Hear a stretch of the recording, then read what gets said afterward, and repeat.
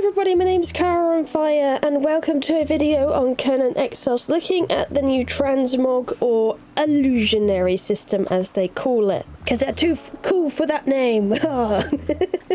no, I'm joking, they want something unique, of course, of course. Anyway, we're talking about the illusion system, transmog, whatever you want to call it, reskinning your items, making yourself look however you want to. So you don't have to put on like you know this heavy ugly armor anymore and be like oh i really don't like the look of this. Well now you can actually you know go ahead and change the look of it. So that's going to be really nice. However there is a catch to the system from what i've seen and it doesn't work with things that you cannot learn. So for instance my armor in here providing i have it learnt i could change a yamatai chest piece into a Khitan mercenary cuirass. I could use that, but I wouldn't be able to transform the uh, chest piece into this uh, fur harness here because I don't have it learnt. And it seems to be the same with legendaries at the moment as well, I've noticed, or yeah, just things like that. It's very, very peculiar, but we'll look into that a little bit more in a minute. But first of all, if you actually want to do illusion, you need to do the first things first and go and learn sorcery and stuff. And that means you're going to need, you know, just your basic sorcery, your thaumaturgy bench. And the thaumaturgy bench is what you need to do any illusions. And then you want two items. One um, you want the stats transferred on, and one that you want the look of. And I'm going to give you an example of the legendary thing right now, since we're into this topic. I've stuck an axe of the lion in here I've stuck a Yamato War axe in here.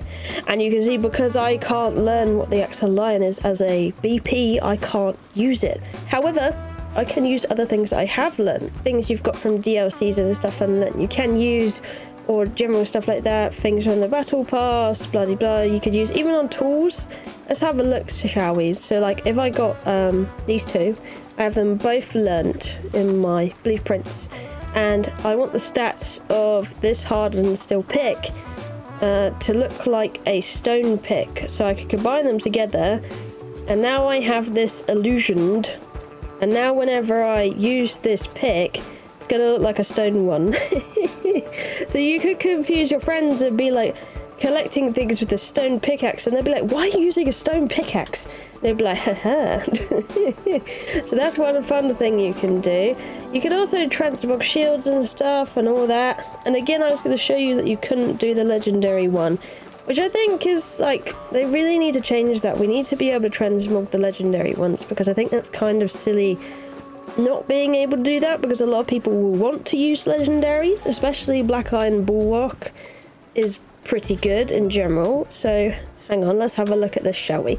So I want to transfer this onto this. Of course, I can't. So that's very annoying. However, if I wanted to make my wooden shield look like it was a nice shield, I could. So I can have this wooden shield and boom, it now looks like a nice shield.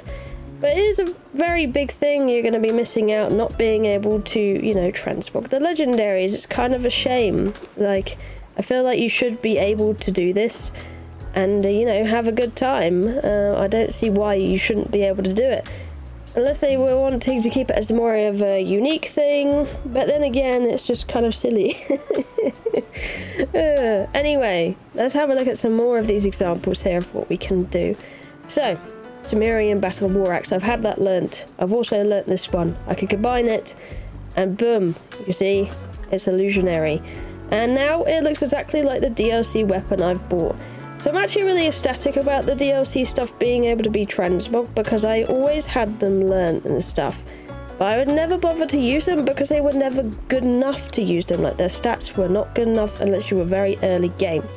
So you can see a lot with these 17 health damage is not going to get me anywhere. Why would I bother to use this further on in the game? I just wouldn't be able to use this really pretty DLC thing I've bought it's a waste of money at that point because I can't use it. So now you can actually use them and have them as either an object you swing around with or you can reskin it on an actual good item and still have the really nice aesthetic that you want. So I'm actually incredibly happy about that and that is really nice for people who have DLCs and stuff like that. So let's look at some of the armor types, shall we? Darfari skin chestplate, I have that learnt in my, you know, engrams and stuff like that, my, um, you know, knowledge tab.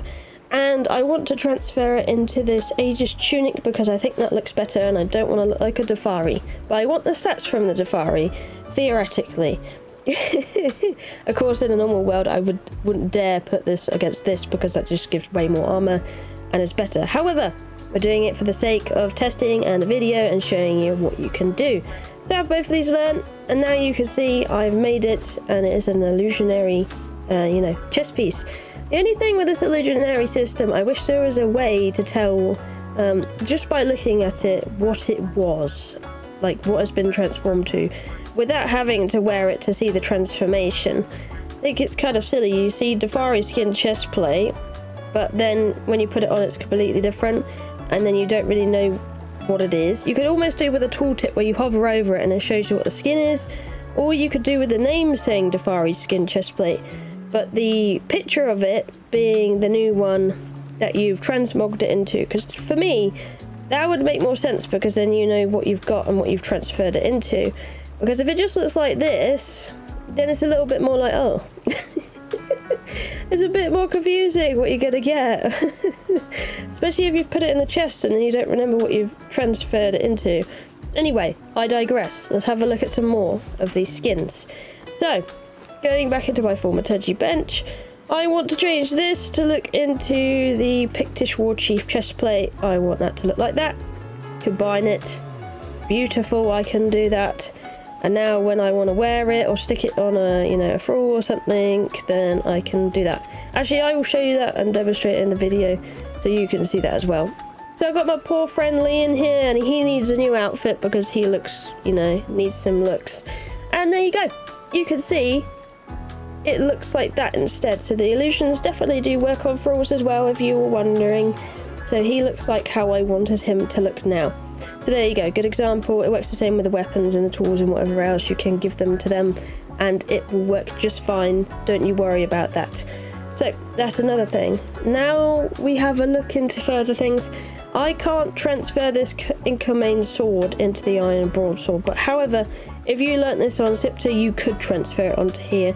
So don't worry, as long as you learn the recipes of both of these, you can make them into a skin that's how it goes. Same with the katana, I could change it into that because I have both learnt. Same with these. Oh, one thing I will say with the skin system, there doesn't seem to be a way to, you know, unless you have certain types of skin, you can't have like your hair showing, and that's kind of like, I wish there was more options for this. You could, in theory, wear something like jewelry on your head or earrings, as providing you've learned it and stuff, and have it work that way. So, for instance, if you go into the jewelry, you could wear the goldsmith stuff, the jewelers, or the silver circlets on your head, and that would, you know, you could wear those for the helmet and transmog, blah blah blah, instead. And this is like the only way you can get your hair showing, so it's kind of annoying. So, if I was going to wear a heavy helmet, didn't like it because it covered my hair up, and then wanted to turn it into this, this would be like the only way I could get my hair to show. By having a few limited blueprints I could, you know, have. So I feel like there needs to be some more options to get your hair showing or something, or a way in the illusionary system to just have it hide your helmet in general. But this is kind of the best you can get. Just transfer it into jewelry or transfer it into the headband. The headband is a DLC item now. Same with the bejeweled stuff, but I believe you can probably use the iron circlet and stuff like that.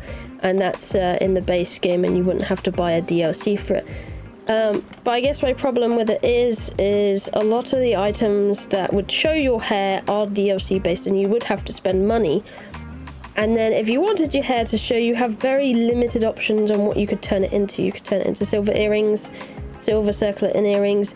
There's not many options you could do to just get your hair to show and then perhaps that wouldn't be your style you don't want a crown on or something and you know etc etc so um, you know I feel like there needs to be more options for you to have like your hair showing and stuff like that or maybe just a way that you could do like a, a second option on here that you could tick a box or something that would be like um, hide helmet illusion or something. And then you turn it into the thing and it will hide your helmet so you can see your hair. Because you know why have all these hairstyles in the game and stuff when you can't even see them like why? You should be able to see them. Like people like seeing their hair. They don't want it all banged up in a heavy helmet all the time. Or maybe that's just a few of us. I don't know. I know there's plenty of people out there that, that would rather see their head and stuff not being bunged up into a silly helmet because some of them do look silly. So you know that would be a nice option for some people. I know the rp community would definitely be one of them they want to see their hair and whatever else and know, play that character. And I feel like it needs to be some kind of option, or they get more options of, you know, headbands and stuff that you don't have to pay for, you know. Um, because at the moment it's just a couple of earrings and the silver circlet you can really use to get your hair to show up, right? So, unless you pay money for DLCs, So, you know, I feel like more options would be nice, and then some way we can transmog the legendary stuff because a lot of people will use legendary stuff later in the game, like Axe the Lion's very popular. Same with a few other legendaries, people love them and stuff, and probably would want to transmog them because if they're using Axe of the Lion all the time, they're not going to downgrade to the Cimmerian Battle Axe just to be able to see it, you know? That's kind of silly. So there needs to be some way you could perhaps, um, you know, learn it in here. You could put it in one of here and you could go, you know, learn the recipe, but they can't make it because it's legendary. But they could learn it so they could be able to skin it, you know? Just something like that, or just some way to just skin legendaries in general. The rest of it makes sense to me, but those two not really. But that would just be things I could pick on. Apart from that, I do think it's a really nice system. I do think it's nice that you're able to skin shields and even tools. Like, that's a really small detail. Like, if you want tools to look differently, you can and I do like the fact that they have that as a thing. And yeah, anything that you can learn, you can transmog. If you can't learn it, you can't transmog it. So that's just how it goes in the test live version of the game at the moment. So for the most part, anything you want to reskin, you can absolutely do that, providing you have learnt it in your knowledge tab, or say you went to Siptah and learnt the Siptah weapons via the vault. Providing you can craft it, you can transmog it. That's how it goes. And you could probably do the same with the saddles actually. Let's have a look at that, shall we? Saddles are another thing that I feel like you should be able to transmog, but it doesn't seem like you can. Because every time I try and slap it in here, you can't. But it's another thing that you got loads of skins for that I feel that needs illusionary stuff. Like, you should be able to illusionary saddles and stuff. But you can't even drag it in, so that says only armors and weapons could use illusions. I think down the pipeline it would be nice if we could transfer saddles, anything with skins really, into illusions. Um, not building pieces because of course it makes sense that their own you know they're in their own category etc. But anything that you have lots of multiple skins for like weapons and armor and stuff like that and then the saddles I feel like you should be able to skin it. The saddles just definitely a big one of that as well. I think you should be able to skin them if you want to skin them. And you can see how many just skins I have for saddles in general. Like, I have so many saddle skins, but perhaps I... Like, one of these problems I get with saddles is I really like the ones that give you better maneuverability. So, I really like those kind of ones. However, there's only a few that does that, and then there's these other ones that look really nice, but they're heavy, and I can't use them because they don't give me that good mobility that I like. So, I would love to be able to skin the saddle and make it into a skin that I own, that I like the look of, but I can't do it right now because they don't allow it. So I think it would be really nice if they could consider that down the pipeline, that maybe we could, you know, skin the saddles instead as well.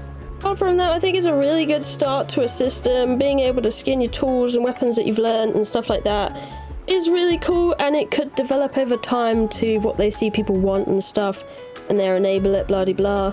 Um, hopefully that will be the case and they will listen in and see what we want out of this system and stuff and then make, you know, those changes that need to be done etc., uh, etc., et to the game to make people happy, blah blah. Um, you get where I'm going with this.